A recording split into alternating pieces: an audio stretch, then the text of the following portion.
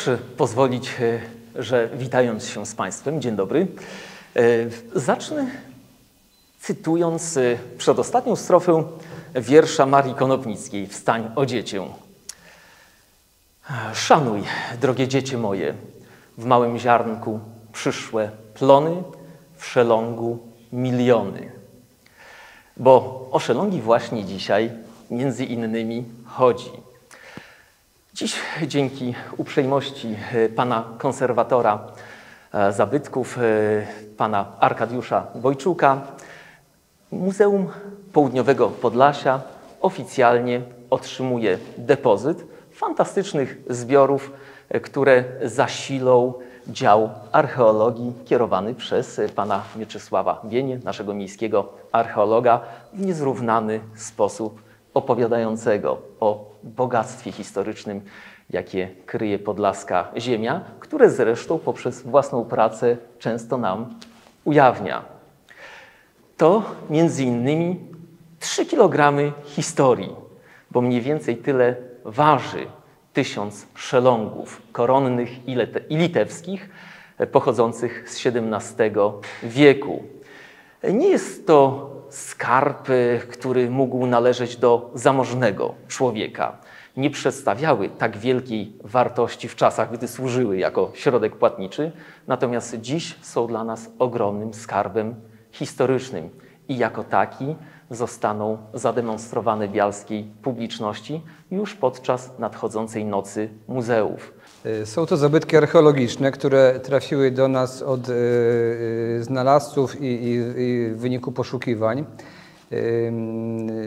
Skarb, o którym była już mowa, tak zwanych boratynek, jest to, jest to depozyt z Zaniówki w powiecie parszewskim, który został odkryty przypadkowo przez, przez znalazcę rolnika, który poszukiwał na swoim terenie części maszyn rolniczych i przy, przy okazji tych poszukiwań trafił na ten, na ten e, depozyt, gliniany garnek siwak wypełniony w całości e, tak zwanymi boratynkami, które e, w ówczesnym czasie stanowiły taką powszechną monetę obiegową, groszową, która, która była powszechnie używana w handlu.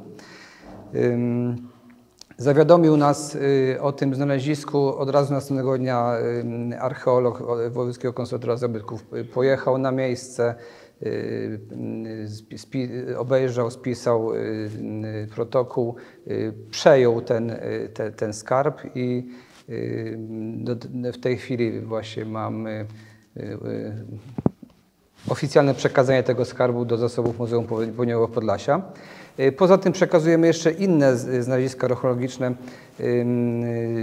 Jest to ceramika z miejscowości Borki, która y, została pozyskana w wyniku prac archeologicznych. Y, dodatkowo przekazujemy jeszcze fragment ozdoby, który został znaleziony w okolicach Polatycz i fragment broni palnej, który został pozyskany w Białej Podlaskiej. Też to są przypadkowe znaleziska. Miejscowość Zaniówka, pamiętam jak zaczynałem pracę 32 lata temu w Białej Podlaskiej, e, była znana z tego, że dostaliśmy informację o znalezieniu przez leśniczego kurhanów w lesie wczesnośredniowiecznych. Pojechałem tam z panią profesor Joanną Kalagą, próbowaliśmy te kurhany znaleźć, niestety się nie udało. Nie wiem, czy teraz mamy jakąś większą wiedzę na ten temat, ale chyba dalej nie mamy miejsca lokalizacji tych kurhanów. Zaniówce. Niestety leśniczy zmarł przed naszym przyjazdem, a więc nie miał nam kto pokazać tych kopców. To podobno były trzy kopce. Dlatego jak usłyszałem skarb z Zaniówki, to od razu sobie skojarzyłem z tymi trzema kurhanami. Skarb jest zdecydowanie młodszy, bo kurhany pewnie były gdzieś z wieku X-XI. E, skarb mamy z wieku XVII, może z początków nawet XVIII, ponieważ e, monety powszechnie nazywane boratynkami, a oficjalnie szelongami koronymi litewskimi dosyć długo były w użyciu. Natomiast skarb jest dla nas e, no, bezcenny, ponieważ e, nie patrzymy tutaj na pojedynczą wartość tych poszczególnych zabytków, tylko patrzymy na zbiór. Zbiór, który ktoś e, przez dłuższy czas kolekcjonował, zbierał, i zdeponował w ziemi.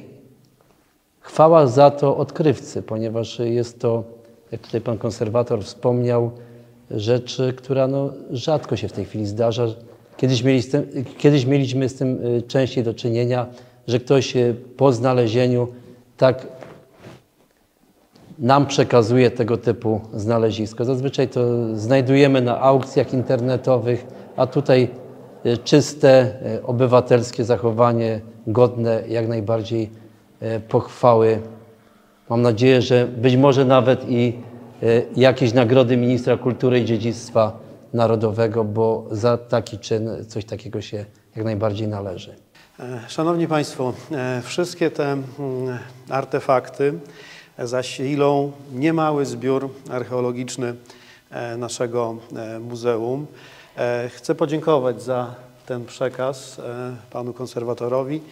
E, Każdy taki przekaz wzbogaca naszą kolekcję, wzbogaca nasze muzeum i jednocześnie powoduje, że podnosi się prestiż i znaczenie Muzeum Południowego Podlasia w Białej Podlaskiej.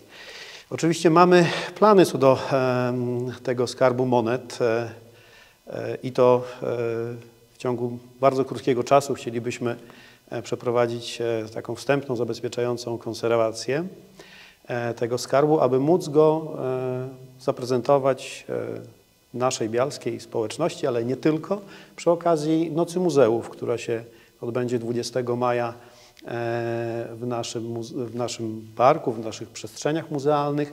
Jednocześnie zapraszam Państwa na to wydarzenie. Będzie to bardzo dobrze wpisująca się w ten przekaz wystawa archeologiczna Jaświeckie e, Eldorado, e, którym, którego elementem będzie prezentacja tego właśnie skarbu, więc e, bardzo e, zapraszam Państwa do odwiedzenia nas e, 20 e, maja.